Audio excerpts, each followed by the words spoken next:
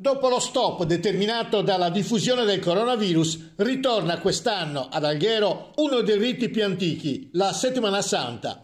Il programma è realizzato in collaborazione tra la diocesi Alghero-Bosa, la Confraternita della Misericordia, l'amministrazione comunale e la Fondazione Alghero e vede la partecipazione di associazioni e corali algheresi e del territorio regionale che da ormai diversi anni accompagnano le processioni insieme alla banda musicale da Lerci. L'immagine che affianca la comunicazione grazie al prezioso contributo del liceo artistico Costantino di Alghero è opera di Martina Pintore della classe quarta B.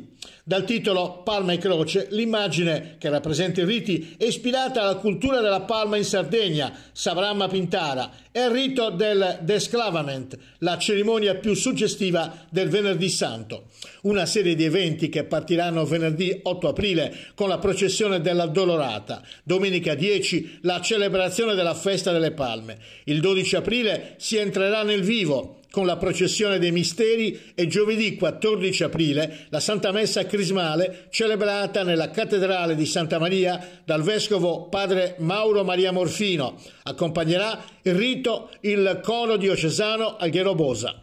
Alle 18.30 si terranno la messa in cena domini e il rito della lavanda dei piedi, seguirà la processione e l'adorazione eucaristica.